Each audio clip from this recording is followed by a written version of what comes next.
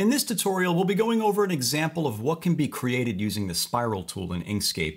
And to show you what I mean, I have this simple spiral path that I started off with, and I was able to use it to construct this rolled sheet of paper icon that you can see here, and I will be demonstrating how to create this entire thing. So let me come over here into a new document and we will get started. So the first thing I'm going to do is grab my spiral tool, which is located over here, and the tool settings I want to use, I already have inputted into my input boxes here. So go ahead and pause the video and type in these values into each of these three boxes here. We want 2.9, 2.0, and 0.550, and once you do that, you'll be good to get started. So now what I will do is I will hold the control key and click and drag to the right to create a spiral. And the way that I want this spiral positioned, I want the tail of the spiral on the right-hand side. I want that to rest on the horizontal plane so that it's going up vertically like that. We don't want it off center like that. We want it placed just like that. And that's the result we're looking for. And now I'm going to convert this to a path. So I'll come up here to where it says path and I will go to object to path. And I'm going to grab my selection tool and I'm going to flip this vertically by pressing this button right here that says flip uh, object vertically or you could just press the letter V on your keyboard and that works as well. And I'm going to zoom in on this. I'm going to click on it again to get the rotation handles. And I'm going to rotate this around a little bit just so that this tail right here is not too far up. We don't want that too far up like that. We want this down a little bit and that looks a lot better.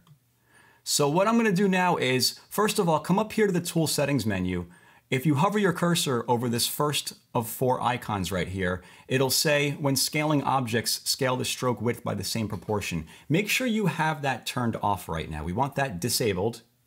And once we do that, I'm gonna come back over here to my object, click on it again to get back to my scaling handles, and I'm gonna take this bottom arrow icon right here and just scale this up like that so we have this distorted effect as you can see here. And once we've done that, I'm just gonna click on it again I'm gonna rotate this a little bit more. I'm not quite happy with how that looks. All right, that looks a lot better. And now I'm gonna open up the fill and stroke menu. So come over here to where it says path, or no, object, and go to fill and stroke. And the menu should open up over here on your right-hand side of your screen. I'm gonna select the stroke style tab, and I wanna change the width of the stroke from one pixel to five pixels. And I wanna make the caps rounded as well. And then I want to come down here and bring the opacity of this down in half. This is just going to make it easier for us to see what we're working with as we move forward. So we now have the top portion designed. So what I'm going to do is I'm going to right click this and go to duplicate. And I'm going to hold the control key and move this down here like this. This is going to represent the top of the roll of paper and this is going to represent the bottom. If I could show you what I mean here, this is the shape we're starting off with and this is what we're putting it, we're, we're putting it down there like that. And now what I will do is let me click off of that to deselect it. I'm going to turn on snapping. I'm going to come over here to this magnet icon and enable that. Let me expand this menu. And we don't want advanced mode. If you're in advanced mode, just come over here to where it says reset to simple snapping mode. And the two options we want enabled in simple mode are bounding boxes and nodes, and we're gonna keep alignment turned off. So now I'm gonna grab my Bezier pen, which is located over here, or the pen tool as it's called, and I'm gonna come over here and I'm gonna snap to the left side of this spiral, and let me zoom out. I'm gonna bring the line straight down. I'm gonna hold my control key to lock it onto the vertical axis and then snap to the left edge of the other shape like that and press enter. And now we want to give this stroke the same style. So let me change this to five pixels and I'll make these caps rounded as well. And I'll bring down the opacity of that in half. And you can see why I'm turning down the opacity. I want to be able to see where this line lines up with the other path, with the spiral path. I want to make sure everything there is nice and lined up. And having partial opacity makes it easy to see through these objects while you do that. So now let's create another line going over here. Let's connect this top part to this bottom part over here. I'm gonna hold control, bring this straight down, and then snap it onto the path right there and press enter to create the line. I'm gonna make the width five pixels, make the caps rounded, and bring the opacity down in half like that. And now we have the right side in place. Okay, so I'll just zoom in to make sure everything looks correct here. We want this nice and smooth. We don't want anything off center. And now I'm gonna do the same thing over here. Let me snap to this piece Bring this straight down by holding the control key, snap to the bottom part, click again and press enter. I'm gonna make this five pixels. make the caps rounded, bring the opacity down, and I'll do the same thing over here. I'll snap to the right edge, bring the line straight down by holding control. There we go. Let me change the style of this one as well. And it's starting to come together, as you can see. We now have to get rid of this bottom piece down here. So uh, there's various ways we can get rid of this bottom piece down here. The way that I'm going to do this is I'm going to grab my select tool. I'm going to enable the ruler on my canvas by pressing Control R on the keyboard. If you're using Mac, it would be Command R. So I'm going to press Command R, and now we have the ruler. And I'm going to come up here to the horizontal ruler and click and drag to pull a guide down. And I'm going to snap that guide right where the end point of this vertical line is. And now I'm going to select this path right here and I will grab my nodes tool and I will double click right there to add a new node. And I'll make sure that node is selected. And I want to come up here to where it says, uh, not join selected. We want this one right here, break path at selected nodes.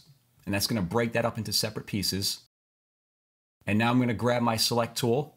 I'll go to path and I will select break apart deselect it by clicking off onto the canvas. And I'm going to take this piece and just press delete to get rid of it. And then I will get rid of the guide. I'll press, I'll click on the guide, hover the cursor over it until it highlights red, press the delete key to get rid of the guide. And now I will get rid of the ruler as well by holding uh, command and pressing R or control R if you're on Windows or Linux. So a lot of this is in place now. All we have to do now is create these lines of text or what are supposed to be lines of text, and then we'll fill this in with some color. So let me, uh, let me click on this object up here, the original spiral path. I'm going to right click that and go to duplicate. And I'll hold control and bring this straight down like this. Let's turn off snapping now. We don't need that anymore. And I just want to I just want to take this segment right here and use that. So let me grab the rectangle tool and I'll click and drag and create a rectangle over that portion of the spiral right there. We just want to take this selection and then I'll select both of those and I will go to path and select cut path. And that should break it up into separate pieces. And now we can just take this piece right here and get rid of that. And get rid of this piece right here as well. And let me move this up. I'm going to hold control while doing this so that we lock it onto the vertical axis. And I'm going to duplicate this. Instead of right clicking and going to duplicate, I'm just going to press Control D or Command D if you're on Mac. And then I'll take this duplicate copy and move that down. And I'm going to repeat this. I'm going to select both of these, Control D to duplicate, Bring them down here. And I'll do this maybe one more time. Bring these ones down here. And now we want to make sure that these lines are evenly spaced. So let me select all of them. And I will open up my Align and Distribute menu. You can access that by going to Object and selecting Align and Distribute. I already have mine open over here in my dock, dockable menu, so I'll just click on that.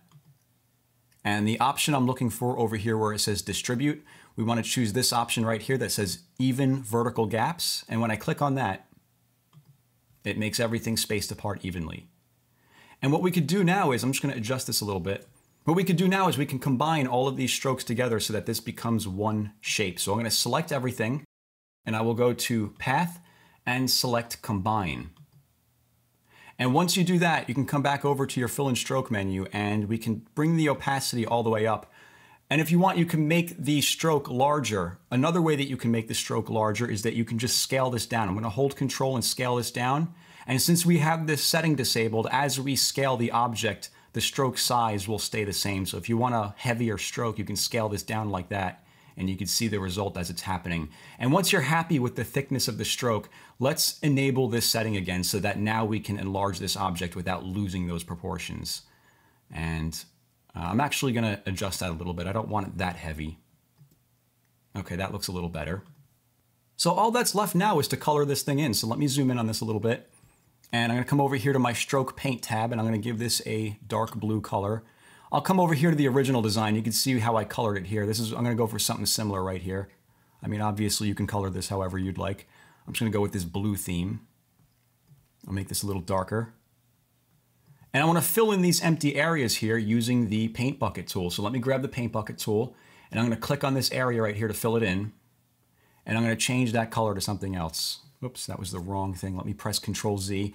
I want to choose the fill tab, not the stroke paint tab. There we go. Let me make this a different color. I'll go with a lighter shade of blue. And then I'll come over here and fill this in as well. I'll make this a I don't know why it's applying a stroke. Let me get rid of that. There we go. I'll take this and I'll make this one a little darker. Maybe I'll put a little more blue in there. And then I'll do this one more time. I'll fill that one in and I'll make this one the darkest of them all. So let me make it a little darker. And I'm actually going to make this stroke a little darker as well to accommodate these uh, other colors. And once that's done, we want to raise this to the top. So I'm going to press this button over here that says raise to the top. We want that, we want the stroke object on top of everything else, on top of the fill objects. And we could zoom out and you can see we are finished. So that's an example of what you can do using the spiral tool in Inkscape. If you found this lesson useful, then consider checking out my Inkscape Masterclass. It's a collection of over 60 videos where I go over all of the tools and features in Inkscape and I explain what they are and demonstrate how they work. Kind of like how I did in this video. We even have a private community where you can ask questions and get help from me anytime you want. And best of all, there's no monthly membership fees. You just pay $17 one time and you're in for life. I'll have some information about that down below if you want to check that out. As always, thanks for watching.